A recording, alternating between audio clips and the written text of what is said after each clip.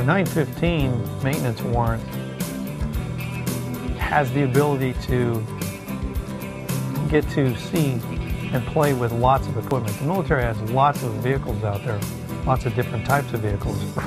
Today, as a maintenance warrant officer, it's my responsibility to make sure that the equipment is up and serviceable.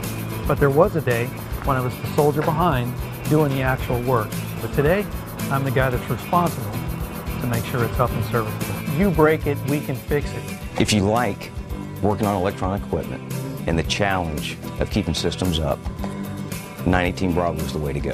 The exciting, exciting part of doing this as a warrant officer is knowing that what I do makes a difference whether the aircraft is fully mission capable or not mission capable.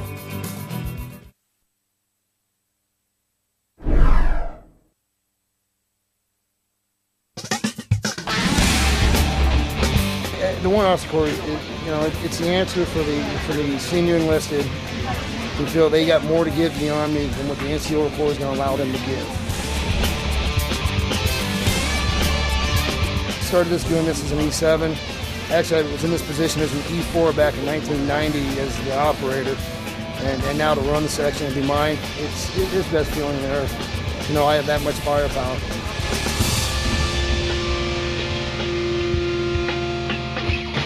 I would tell any young E5, uh, aspiring E5, E6 who wants to become a warrant officer, especially as a 131 Alpha, uh, open the books, learn it, know it.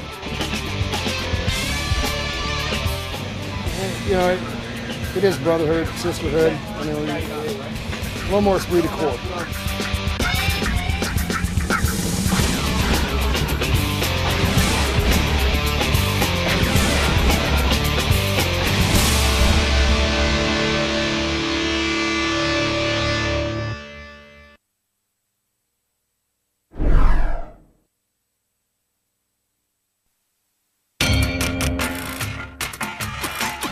Most excited me to become a successful interrogator is try to find out valuable information from enemy soldiers in order to save our troops.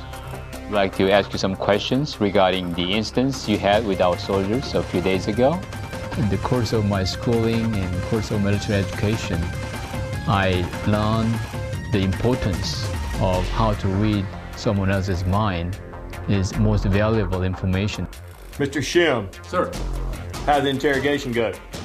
we got the right information from him. I think we got him.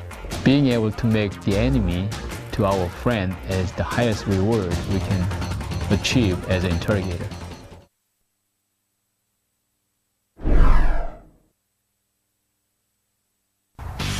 greatest reward is taking care of my, my soldiers, taking care of my NCOs, taking care of, of the, the privates and the younger guys. Being a warrant officer is the best job in the Army. I was a battalion supply sergeant, which basically took care of ensuring that the soldiers had food, clothing, place to stay, all the, the proper equipment they needed.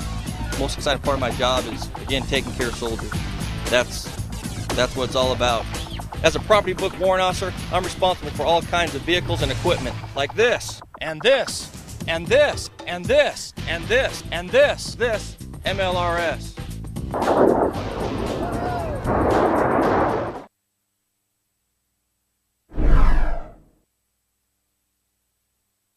Warrant officers bring in a lot of technical and tactical expertise. I mean, the field and computers changes constantly.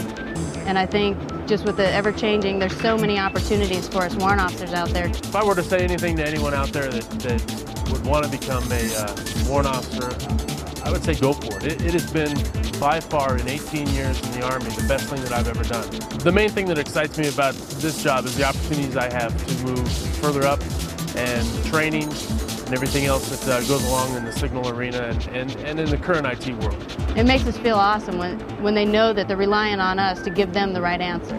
The main thing that attracted me to the warrant officer program was um, uh, 17 years as an enlisted person. I, the challenge wasn't there anymore. If you got a dream or desire to make a difference in the National Guard, I think the best way to do it is through the warrant officer program.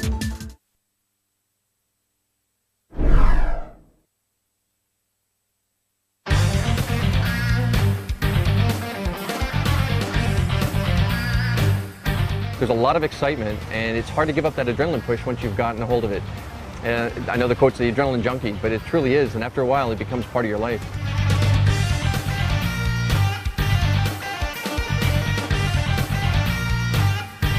For me, there's many different variations of the excitement level, and that is that from airborne drops, and that includes the Halo, that includes static line from helo helicopter operations.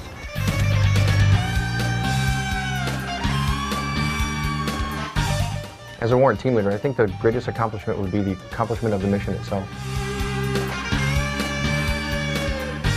I know personally, as a physical challenge and a mental challenge, it's probably the only place that I could seek that is in the Special Forces community.